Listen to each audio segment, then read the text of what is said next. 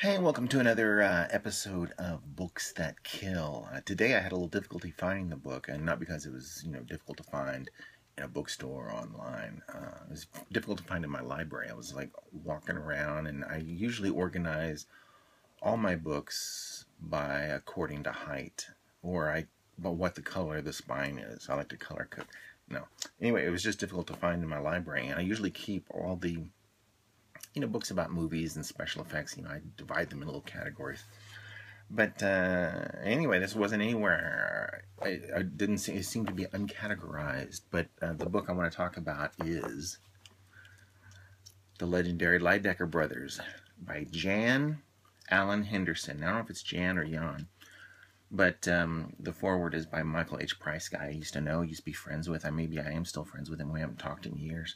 But um, the Lydecker or Lydecker brothers, however, they, I don't know what you put the accents on. I don't know if it's Lydecker or Lydecker, but Howard and Theodore, they're two brothers. They did special effects. They built miniatures. They were amazing. They did like the Republic serials where they'd be like cliffhangers and uh, cars and trains, and they did um, special effects of, um, you know, like uh, what was it, Fighting Tigers and uh, I mean, great war movies, and they did uh, Fair Winds to Java with big ships with sails and that kind of stuff. Um, but again, I don't know if it's Lydecker or Lydecker. You know, it's like you know, I, am I have this thing I don't even know how to pronounce names. I remember like you know I read all the Dune books, you know, the Frank Herbert Dune, and I thought I knew the names of the characters, and then you, then you see the movie, and I go, oh, is that how you pronounce that? You know, so I was just actually telling someone the other day when I was a kid. Um, it was before Star Wars came out. The Alan Dean Foster book that uh, he, you know, he ghost, ghost wrote for George Lucas it was called the Star Wars or whatever Star Wars, and uh, my best friend had read it, and we didn't even know a movie was coming out, and he said, um, "Hey, you got to check out this character R two D two, you know," and that's how we pronounce it R two D two, and then we get there and it's, it's R two D two, so ah, it's a problem. Anyway, if you like special effects, if you like the old school way of doing things, uh, it, you can't get a cooler book than this. I love these guys. Let me see if I can find a photo of them.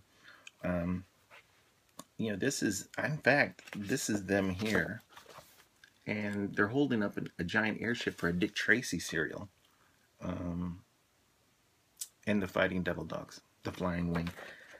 They're so influential on so many special effects people I know. And uh, they're just people that just love, you know, love movies. But if you go into IMDb, type their names, and it's unbelievable. There's really not a whole lot on eBay. Um, or eBay. There's not a whole lot on... Uh, uh, what am I trying to say? Um, well, even like on, you know, when you Google something, there's not on the internet. There's just not really a whole lot about them. There's some really great sites. There's a, you know, Pete's page about matte painting, which is an awesome, awesome page. Uh, got a bunch of images from there, and uh, actually, I just started uh, a Facebook group called the Lydecker Brothers. So if you if you want to join and find out a little bit more, you know, I'm posting like little videos and things that they've done on there.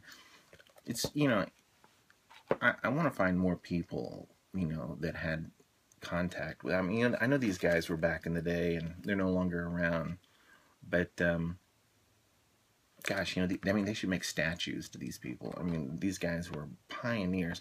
They built their miniatures big, you know so like, I mean, uh, it's, it's like contradictory word, you know, big miniatures, but they did, and the stuff was awesome.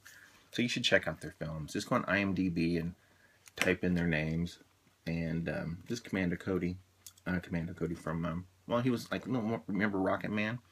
But like, look at look at you know these ships. I mean, these are miniatures, and uh, that's Fair Wind to Java. Um, look, I mean, they just amazing stuff. Now, this is Theodore, or Ted as they call him, at work on a miniature there. Handsome couple of guys. Uh, oh, and they did these robots, you know, you know for um, uh, Mysterious Dr. Satan, which I just watched all of the episodes. Now, the thing is, if you go to my Facebook page for the Lydecker, it's like a group for the Lydecker brothers. Uh, I got some videos, and I posted some of the serials where all the episodes are put together. It's pretty entertaining. Uh, I was really impressed at how it held up. Uh, I know you're probably going, oh my gosh, it's black and white. I can't take it, you know.